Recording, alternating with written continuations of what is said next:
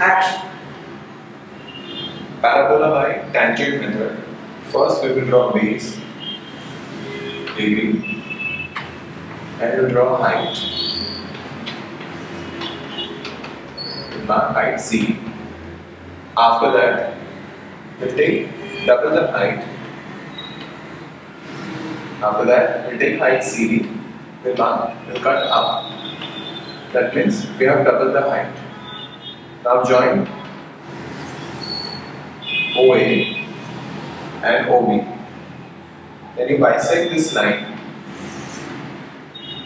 OA into 12 parts, 10 parts, 14 parts, 8 parts.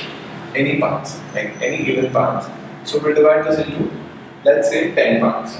So we'll cut 1, 2, 3, 4, 5, 6, 7, 8, 9, 10. Then we join this to this and we draw parallel.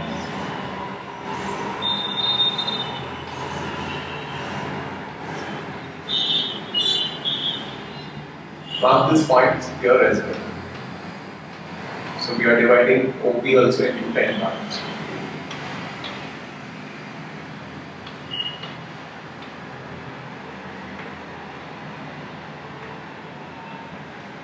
Write this as 1, 2, 3, 4, 5, 6, 7, 8, 9, 10. Again 1, 2, 3, 4, 5, 6, 7, 8, 9, 10. After that you join 1 to 1.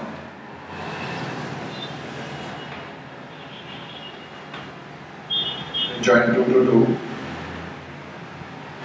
3 to 3, 4 to 4, 5 to 5, 6 to 6, 7 to 7, 8 to 8, 9 to 9. And you can draw a curve touching all these lines.